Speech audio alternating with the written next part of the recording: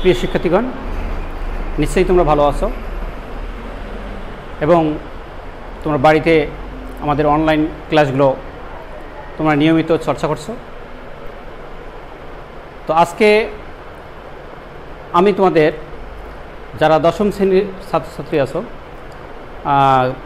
Completing সেন্টেন্সের ওপর ধারাবাহিক ক্লাসের দ্বিতীয় ক্লাসটি নিচ্ছি। নিশ্চয়ই তোমরা প্রথম ক্লাসটি উপভোগ করছ। সেখানে কমপ্লিটিং সেন্টেন্সের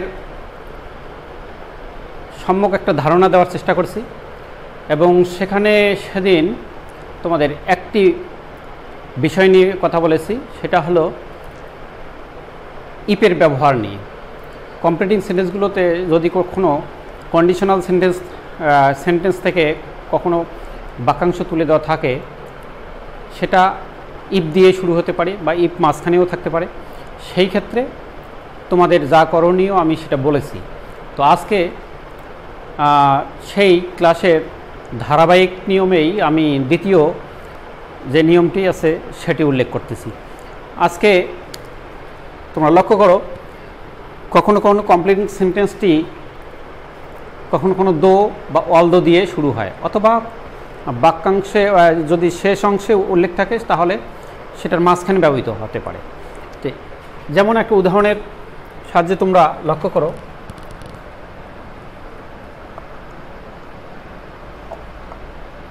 Though he starts last he finish finishes first. লক্ষ্য করো। দো হি স্টার্টেড লাস্ট এই অংশটি প্রশ্নের মধ্যে তুলে দেওয়া আছে। তোমাদের কর্তব্য হলো দ্বিতীয় অংশে, প্রথম অংশের উপর ভিত্তি করে দ্বিতীয় অংশটি পূরণ করা। এখানে লক্ষ্য করো, বাক্যের শুরুতে দেওয়া আছে দো, এবং তারপরে একটি বাক্যাংশ আছে he start last. That means, দোয়ের সাথে সঙ্গতিপূর্ণ এই বাক্যাংশটির সাথে মিল রেখে শেষ বাক্যাংশটি তোমাদের লিখতে হবে। তো এই ক্ষেত্রে তোমাদের কালকেই বলছিলাম যে তিনটি জিনিস ফলো করতে হবে। সেটি হলো যে প্রথমত বাক্যটি স্ট্রাকচারগতভাবে ঠিক হতে হবে। দ্বিতীয়ত বাক্যটি গ্রামেটিক্যালি ঠিক হইতে হবে এবং তৃতীয় যে বিষয়টি সেটি হলো বাক্যটি অবশ্যই মিনিংফুল হতে হবে, অর্থপূর্ণ হতে হবে। তো এই ক্ষেত্রে লক্ষ্য করো তোমরা, এখানে দোয়ের অর্থটি তোমাদের আগে জানতে হবে যে দো বা অল দো এই শব্দটির অর্থ হচ্ছে যদিও। তো এই দো এবং অল দো যদি বাক্যের শুরুতে ব্যবহৃত হয় এবং উহার পরে ক্লোজটি যাহা উল্লেখ থাকবে তাহার সঙ্গে ওই দোয়ের অর্থটি মিলিয়ে আমরা পরবর্তীতে ক্লোজ তৈরি করব। Though he start last, that means যদি, যদিও সে দেরিতে শুরু করে, যদিও সে দেরিতে শুরু করে হি ফিনিশেস ফার্স্ট তার মানে সে তাড়াতাড়ি বা মানে খুব তাড়াতাড়ি শেষ করতে পারে। যদিও সে দেরিতে শুরু করে, কিন্তু তাড়াতাড়ি শেষ করতে পারে কাজটি। তার মানে এখানে দোয়ের পরে এখানে একটা অ্যাকশন ভার্ব দেওয়া আছে স্টার্টস দ্যাট মিন্স গ্রামেটিক্যালি প্রথম ক্লোজটি আছে প্রেজেন্ট ইনডিপেন্ডেন্ট টেন্সে সো আমাদের দ্বিতীয় বাক্যাংশটি অথবা ক্লোজটি আমাদেরকে সেই টেন্সেই অবশ্যই লিখতে হবে। That means he finishes first এটিও প্রেজেন্ট ইনডিপেন্ডেন্ট টেন্সে আমরা গঠন করেছি।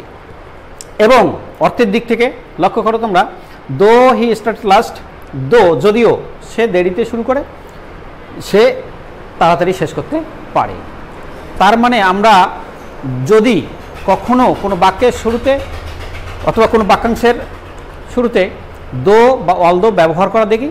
সেক্ষেত্রে আমাদের যে কোনো ক্লোজ লিখি না কেন, ক্লোজ দুটিকে পরপর আমরা এমনভাবে লিখব দুইটি ক্লোজ হবে পরস্পর বিরোধী। অর্থাৎ পরস্পর বিপরীতও হতে পারে কখনো কখনো। অর্থাৎ যেটা মানানসই নয় বা যেটা হওয়া উচিত নয়, সেই রকম মানে বাক্যাংশ দুটির মধ্যে একটা সম্পর্ক বিরাজ করবে। যেমন দেখো দো হি স্টার্ট লাস্ট যদিও সে দেরিতে শুরু করে। He starts last that means সে দেরিতে শুরু করে। যদি কখনো আমরা অ্যাজ ইউজুয়াল দেখতে পাই যে যদি কখনো কেউ কাজ দেরিতে শুরু করে, তাহলে অবশ্যই সেই কাজটি শেষ করতে অবশ্যই দেরি হবে, এটাই স্বাভাবিক ন্যাচারালি কিন্তু আমাদের এই দোয়ের ক্ষেত্রে আমাদের এই জিনিসটি মাথায় রাখতে হবে যদি বাক্যের শুরুতে দো বা অলদো থাকে, তাহলে একটি ক্লোজ যে অর্থ হবে, অপর ক্লোজটি অবশ্যই তার বিপরীত মিনিংফুল হবে। অর্থাৎ পরস্পর বিরোধী হবে। That means though he start last finish last হওয়ার কথা। কিন্তু এখানে সে ফিনিশ করবে ফার্স্ট মানে সে মানে বিপরীত, বললাম না যে দো অলদোর কারণেই ক্লোজ দুটি মানে পরস্পর বিরোধী হয়ে যাবে বা বিপরীত হয়ে যাবে।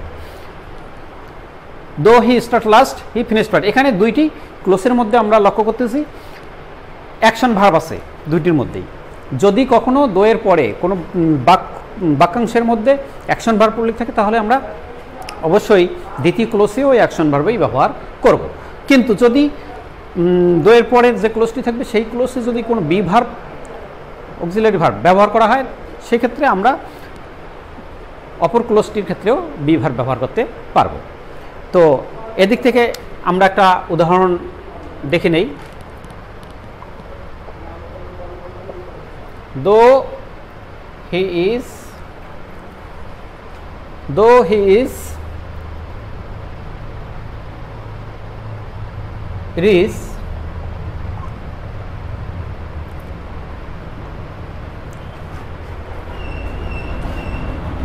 dot যদিও সে ধনী, এখানে আমরা দোয়ের পরে যে ক্লোজটি দেখতে পাচ্ছ- সেই ক্লোজের মধ্যে বিভার ব্যবহার করা হয়েছে। এখানে বিভারটাই অক্সিলারি মেইন ভার্ব হিসেবে ব্যবহৃত হয়েছে। সো আমরা অপর ক্লোজটি তৈরি করব ঠিক একইভাবে বিভাব ব্যবহার করে। যেমন দো হি ইজ রিচ যদিও সে কি? ধনী। সাধারণত ধনী হলে তার কি হওয়া উচিত?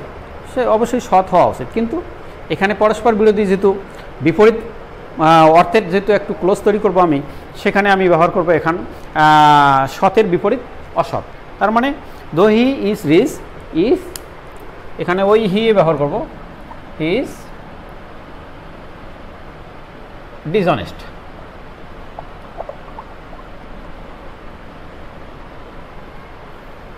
অর্থাৎ, যদিও সে ধনী সে অসৎ। সৎ হওয়ার কথা ছিল, কিন্তু অসৎ। ওই দো অলদোর কারণেই। তো আমরা এইটা খেয়াল রাখব সর্বদাই, দো অলদো যেখানে, পরস্পর বিরোধী বা বিপরীত ধর্মী বাক্য সেখানে। তো এভাবেই আমরা সাধারণত কমপ্লিটিংয়ের ক্ষেত্রে, দো অলদোর ক্ষেত্রে আমরা এই সূত্রটি কাজে লাগার চেষ্টা করব। তো ওকে শিক্ষার্থীবৃন্দ, তাহলে আমরা এই নিয়ম থেকে আরেকটা নিয়মে অগ্রসর হতে পারি মনে হয়।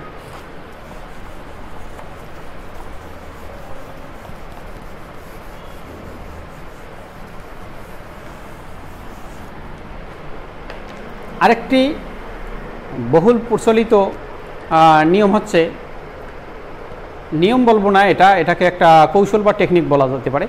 কারণ নিয়ম অপরিবর্তনশীল কিন্তু কৌশল তুমি যে কোনো কৌশলে অবলম্বন করতে পারো তোমার টার্গেট ফুলফিল করতে। তো সেই ক্ষেত্রে আমি কৌশলে বলব, এখানে কৌশলটি হলো, সাধারণত কমপ্লিটিং সেন্টেন্সের শেষাংশে যে কোনো সময় দ্যাট থাকতে পারে উল্লেখ। দ্যাট এই দ্যাট যদি থাকে যে কোনো ক্লোজের শেষাংশে বা শেষে যদি দ্যাট থাকে এবং তারপরে যদি শূন্যস্থানটি থাকে, সেই ক্ষেত্রে আমরা বেশ কয়েকটা স্ট্রাকচার খেয়াল রাখব। যেমন, শুধু দ্যাট কখনো কখনো সো দ্যাট কখনো কখনো so adjective that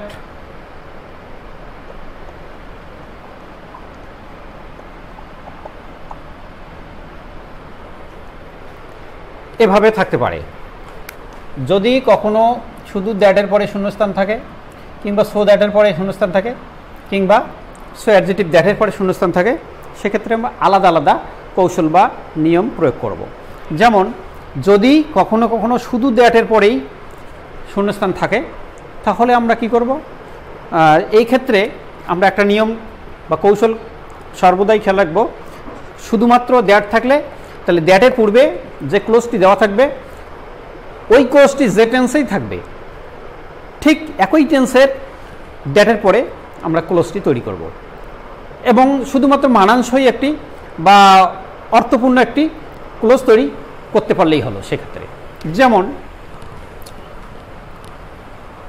he thought that এখানে শূন্যস্থান থাকল he thought that he believe that he pretend that he argued that he said that he told that এর, এরকম অনেক বাক্য থাকতে পারে। এবং দ্যাটের পরে শূন্যস্থান থাকলে আমরা এই ক্ষেত্রে আমরা এখানে একটু মানে একটা জিনিস এভাবে খেয়াল রাখতে পারি যে কখনো কোনো ভার্বের পরে যদি দ্যাট থাকে, শুধু খালি ভার প্লাস দ্যাট সেই ক্ষেত্রে আমরা অর্থপূর্ণ একই টেন্সের যে কোনো বাক্য লিখ- লিখতে পারি। যেমন হি থট দ্যাট এখানে থট ভার্বটি পাস্ট ইন্ডিপেন্ডেন্ট ফর্মে আছে ইয়েস এই পাস্ট ইন্ডিপেন্ডেন্ট ফর্মে থাকার কারণে আমরা এখানে একটা পাস্ট ইন্ডিপেন্ডেন্ট ফর্মের বাক্য লিখব যে কোনো একটা অর- অর্থপূর্ণ মিনিংফুল বাক্য লিখতে পারব। যেমন he thought that he passed the passed the examination অথবা passed the exams. he thought that he passed the exams he thought that he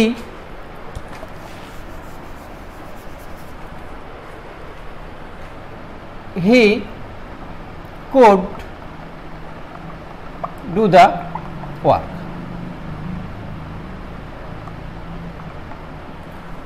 he thought that he could do the work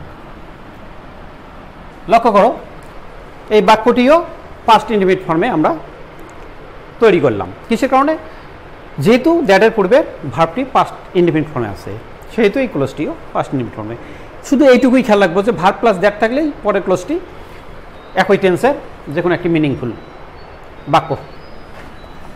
এবার আসি, যদি কখনো so দ্যাটের পরে শূন্যস্থান থাকে, তাহলে অবশ্যই আমরা খেয়াল রাখব যে পরের ক্লোজটি সামনের ক্লোজটির সাথে সামঞ্জস্য রেখে পরের ক্লোজটিতে একটি ক্যান সহ অ্যাকশন ভার্ব ব্যবহার করতে হবে। ক্যান অথবা কুড। টেন্স অনুসারে অবশ্যই তোমাদের এটা সব সময় সব সময় এই জিনিসটি মাথায় রাখতে হবে যে কমপ্লেক্স সেন্টেন্সের ক্ষেত্রে বা কম্পাউন্ড সেন্টেন্সের ক্ষেত্রে সর্বদাই একটি ক্লোজ যে টেন্সে থাকবে, অপর ক্লোজটিও সেই টেন্সেই লিখতে হবে। তো এই ক্ষেত্রে সো দ্যাটের পরে আমরা কেন ব্যবহার করতে পারব, কুডও ব্যবহার করতে পারব। কখন কোনটি? আমাদেরকে সো পূর্বের ভাবটি সেটা নির্ধারণ করে দেবে। যদি সো দ্যাটের পূর্বের ভাবটি পাস্ট টেন্সে থাকে, তাহলে এই ক্লোজটি এখানে কুড ব্যবহার করব। আর যদি সেটা প্রেজেন্ট ফর্মে থাকে, তাহলে এখানে ক্যান ব্যবহার করব। হ্যাঁ এই উদাহরণে লক্ষ্য করো জিনিসটা। যেমন, he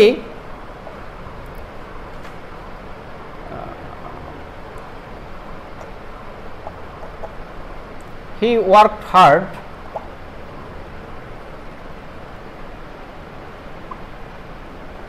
so that dot. He worked hard. অবশ্যই তোমরা লক্ষ্য করেছ যে ভাবটি পাস্ট ফর্মে আছে। সো দ্যাটের পূর্বে যদি কখনো মানে ভাবটি পাস্ট ফর্মে থাকে, তাহলে আমরা পরের অংশে আমরা কি ব্যবহার করব? কুড কুড প্লাস একটা অ্যাকশন ভার্ব এখানে সো দ্যাটের অর্থটা হলো যাহাতে। তাহলে হি ওয়ার্ক হার্ড সে কঠোর পরিশ্রম করল। সো দ্যাট যাহাতে অবশ্যই এখানে একটা উহার ফলাফল বা উহার কারণে যেটা ঘটে, ঠিক সেই রকম একটা মিনিংফুল বাক্য এখানে আমরা তৈরি করব। সে কঠোর পরিশ্রম করল যাহাতে সে কি করতে পারে? ক্যান বা কুড অর্থ হলো পারা। তাহলে ক্যান সে কি করতে পারে? পরীক্ষায় পাস করতে পারে। তাই না? কঠোর পরিশ্রম তো আর এমনি এমনি কেউ করে না। কেউ ধনী হওয়ার জন্য কঠোর পরিশ্রম করে, কেউ পরীক্ষা পাস করার জন্য করে। তাহলে he work hard so that he could এখানে সাবজেক্ট ওই হিয়ে আমরা ব্যবহার করব এখানে could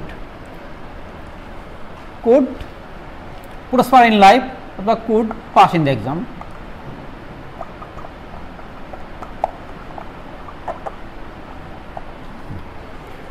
in this way আমরা সো দ্যাটের ক্ষেত্রে আমরা ক্লোজ ব্যবহার করব এবং এভাবে আমরা কমপ্লিটিংয়ের কাজটা করতে পারব। হ্যাঁ এখানে আরেকটি জিনিস তোমাদেরকে ক্লিয়ার করতে চাই, সেটা হলো ওয়ার্কের ক্ষেত্রে এইখানে যদি ওয়ার্কস ব্যবহার করা হইতো, কিছুক্ষণ আগে বললাম যে এইখানে যে ভার্বটি ব্যবহার যে টেন্সে থাকবে, অপর অংশেও সেই একই রকম টেন্স ব্যবহার করতে হবে। তাহলে he works hard so that he এই ক্ষেত্রে আমরা কি ব্যবহার করব? ক্যান ব্যবহার করব। He can pass in okay এই হলো দ্যাটের ক্ষেত্রে মানে সরি সো দ্যাটের ক্ষেত্রে সো দ্যাট যেখানে ক্যান কুট সেখানে। শুধু এটুকুই খেয়াল রাখতে হবে। তো, প্রিয় শিক্ষার্থীবৃন্দ, আরেকটি এখানে এই অসম্পূর্ণ থেকে যাবে, এই ইয়াটি আলোচনা না করলে। যদিও সময় স্বল্প, লক্ষ্য করব না সো অ্যাডজেটিভ দ্যাট এইখানেও দ্যাটের পরে শূন্যস্থান আছে। কিন্তু দ্যাটের পূর্বে আমরা লক্ষ্য এখানে করলে দেখতে পাই, যেখানে একটা দ্যাটের পূর্বে একটা অ্যাডজেটিভ শব্দ আছে, তার পূর্বে একটা সো উল্লেখ আছে। সো, এখানে সো অ্যাডজেটিভ দ্যাটের স্ট্রাকচারিক জিনিসটা মাথায় আমাদের আনতে হবে। তো এই ক্ষেত্রে আমরা কি করব? সো অ্যাডজেটিভ দ্যাট থাকলে ওই যে সো দ্যাটের আমরা কিছুক্ষণ আগে ব্যবহার করলাম না ক্যান কুড তো এখানে ওই জিনিসটাই খেয়াল রাখব। এখানে শুধু ক্যান কুড হবে না, এখানে ক্যানট কুড নট এখানে ব্যবহার করতে হবে ক্যানট কুড নট তাহলে ক্যানট কুড নট আমরা ব্যবহার করব কীভাবে? ওই মূল ক্লোসে যেভাবে ব্যবহার করে অ্যাকশন ভার্বের পূর্বে। তো আমরা একটা উদাহরণের সাহায্যে জিনিসটা লক্ষ্য করি। He is so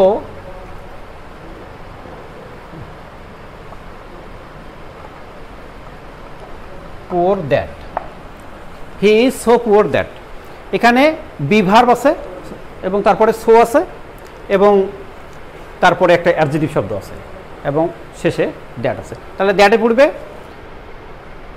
আমরা এখানে যে স্ট্রাকচারে দেখতেছি যেভাবে, ঠিক সেভাবে আছে কিনা দেখো তো। দ্যাট অ্যাডজেটিভ সো তাহলে সো অ্যাডজেটিভ দ্যাট এভাবে থাকলে আমাদের কি করতে হবে? ক্যানট কুড নট ইয়েস আমরা ক্যানট কুড নট বাক্যে ব্যবহার করিয়া, একটা অ্যাকশন ভার ব্যবহার করি আমরা ক্লোজটি তৈরি করব। তাহলে he is so poor that সে এত গরিব যে ক্যানট কুড নট পারে না। কি করতে পারে না? সে এত গরিব যে সে কি করতে পারে না? মিনিংফুল যে কোনো একটা অ্যাকশন ভার্ব নিয়ে আসো এখানে। সে হ্যাঁ হ্যাঁ হ্যাঁ ভালো পোশাক কিনতে পারে না, এটাও হয় কার কিনতে পারে না ইত্যাদি ইত্যাদি। তার মানে he so poor that he cannot he is so poor that এটা প্রেজেন্ট ফর্মে আছে অবশ্যই ক্যানট হ্যাঁ cannot yes buy new cloth yes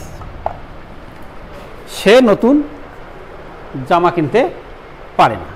সে এত গরিব যে, he is so poor that he cannot buy new cloth, he cannot buy a car, he cannot buy foods it's it's etcetera so, আমরা এই তিনটি জিনিস একসাথে খেয়াল রাখব এখন থেকে, যে যদি কখনো ভার প্লাস দ্যাট থাকে, তাহলে একই টেন্সের যে কোনো একটি মিনিংফুল বাক্য, যদি সো দ্যাট থাকে, তাহলে ক্যান কুড ব্যবহার করিয়া যে কোনো একটা বাক্য, এবং সো অ্যাডজেটিভ দ্যাট থাকলে ক্যানট কুড নট ব্যবহার করিয়া একটা মিনিংফুল যে কোনো বাক্য আমরা লিখে বাক্যটি কমপ্লিট করতে পারব। তো প্রিয় শিক্ষার্থীগণ, মনে হয় তোমরা বুঝে গেছো, আজকে যে দুইটি নিয়ম নিয়ে আলোচনা করলাম, তোমরা এক্সারসাইজ বুকের সঙ্গে একটা মিলিয়ে তোমরা বাড়িতে এই জিনিসগুলোকে একটু বারবার চর্চা করবা।